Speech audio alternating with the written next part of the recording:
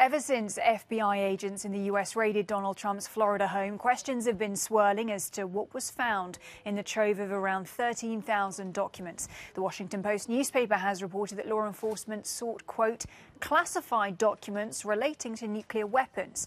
Trump has denied the story, but he's also appointed a federal judge as an independent arbiter to review what was found. And with me now is Natasha Lindstaedt, a political scientist at the Department of Government at the University of Essex in the UK. Natasha, great to have you with us. Um, there have been, there are concerns that Donald Trump may have violated the Espionage Act. So that brings me to the question what allows him to appoint a so called special master in this case, and also what does it mean for the investigation? Well, he uh, appealed to, to have this with the courts. Uh, so he actually filed this uh, case 70 miles away from Mar-a-Lago where it happened because I think he and his legal team were looking around for the right judge and he specifically chose a judge that he appointed that was young, new, and experienced and and, and right wing and supportive of Trump possibly. I mean these are the uh, accusations coming from uh, the Democrats and then other uh, uh legal scholars that feel that this judge should have recused herself.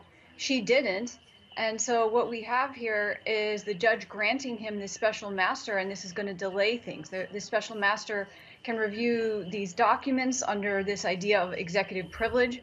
I'd like to state first that even former Attorney General Bill Barr says that a former president can in, invoke executive privilege um, to prevent the executive branch from reviewing documents that are related to investigation.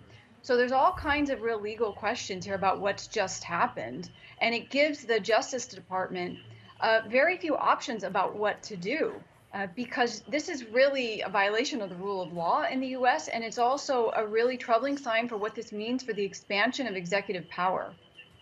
So, how has this been allowed? And what does it mean for Trump's chances of potentially being prosecuted? And that's a really good question. It's been allowed because Trump and his team were able to basically shop for the right judge that they thought were going to come up with the ruling that they wanted. And she even went beyond that, uh, offering an explanation that was really bizarre.